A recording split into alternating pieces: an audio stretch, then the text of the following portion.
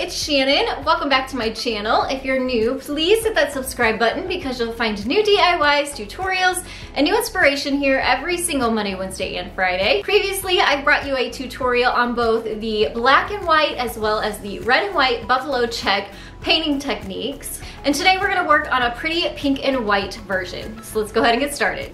All right, so let me show you supplies that you're gonna need to create this buffalo check print. Of course, you're gonna need paint. I'm using chalk paint. This one is by Waverly from Walmart. It's in the color Ballet Slipper.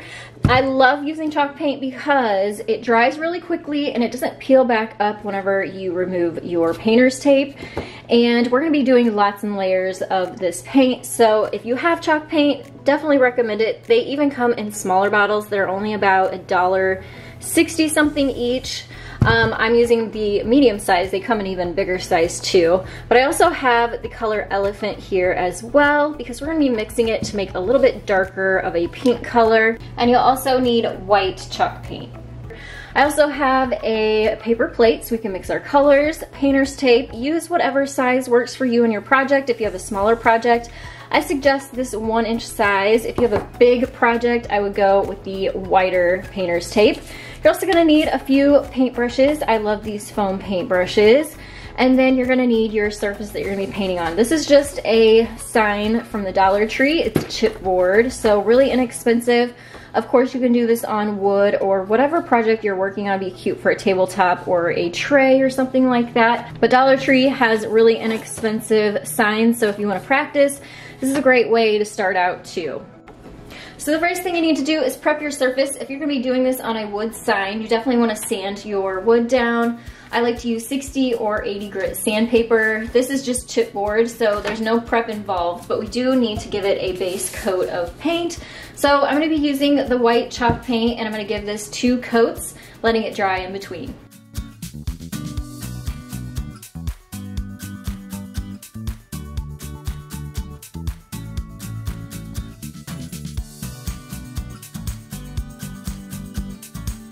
All right, so now my sign is painted white with two coats of the white chalk paint and completely dried.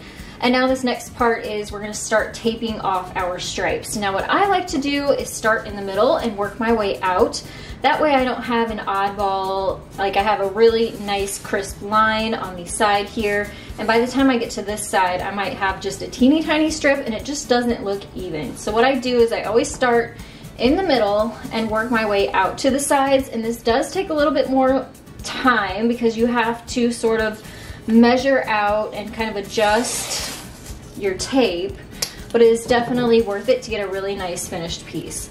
So what I do is kind of just eyeball where I think about the middle is, and then I take the centimeter side of a ruler and I just measure from the edge of the tape to the edge of the sign on both sides until I have equal amounts of centimeters on both sides and then I know my tape is centered.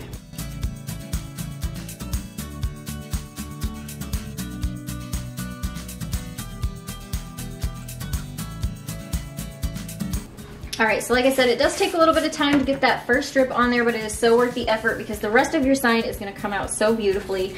And now what we need to do is fill the rest of this with stripes. And basically what you need to do is you're gonna take one of your pieces of tape, and this is gonna be your placeholder piece of tape. So you're gonna line this up right next to the first stripe that you put down. You don't have to push down on this hard because we're gonna take that off in just a second.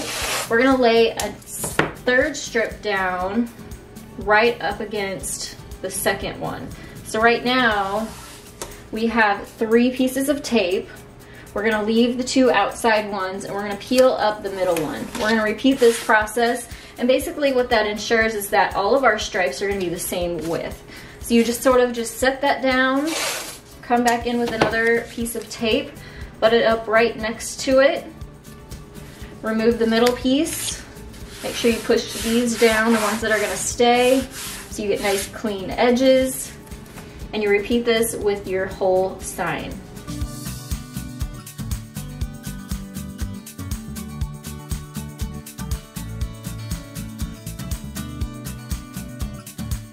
So here's the look at all of the vertical stripes. Now I can go ahead and add my pink chalk paint.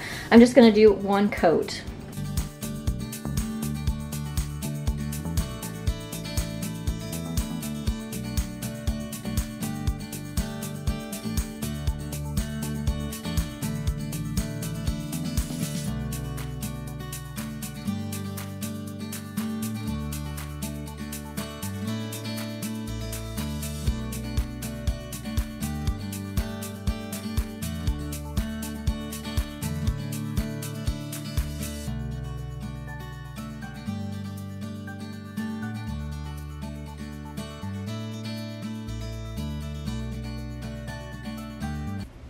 All right, so this is all nice and dry now. We're gonna take this and we're gonna turn it just a quarter of a turn. So now our stripes are going uh, left to right instead of up and down. And we need to repeat the process. We need to find the middle, add our piece of tape and build out from there until we get to the sides. And then we can add one more coat of the pink chalk paint.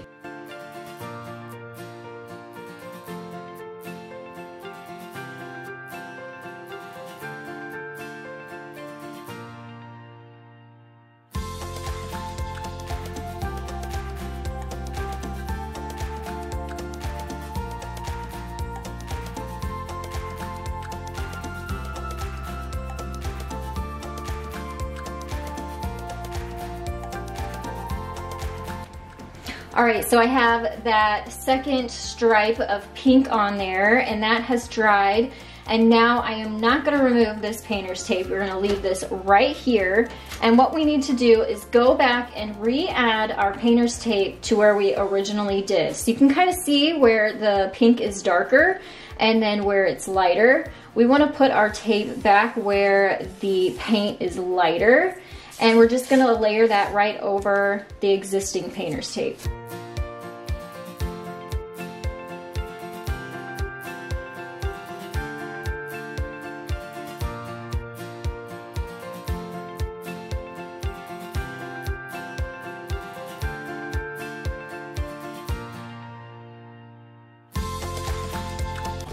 All right, so now that all the tape is put back into place, we need to make a darker pink. So I'm gonna mix my pink with the gray and you really wanna go very, very sparingly with your gray paint. If you have some black, you can use that too to warm up the pink, but really just use the tiniest bit because it does not take much at all to give this pink paint a darker hue.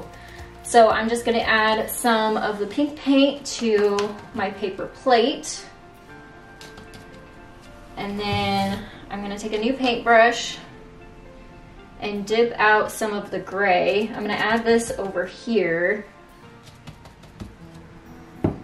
just so I have some on my plate and I can kind of add more if I need to. But really this is only going to take the tiniest bit of gray to darken our pink.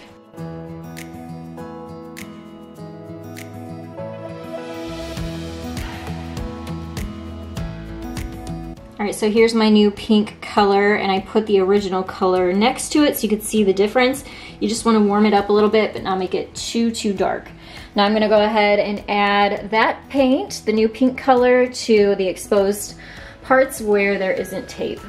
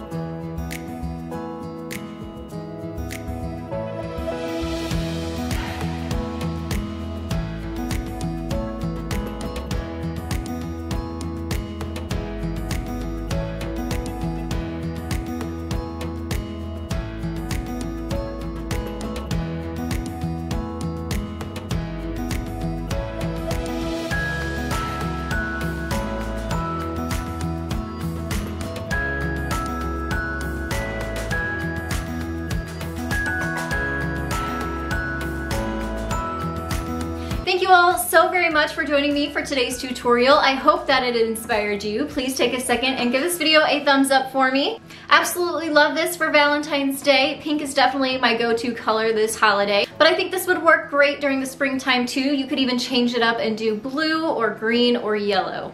If you haven't already, please click that subscribe button next to me. You'll find more great DIY tutorials in the link below that. And make sure to find me on Facebook and on Instagram for more inspiration. Thanks so much again, and I'll see you next time. Bye, everyone.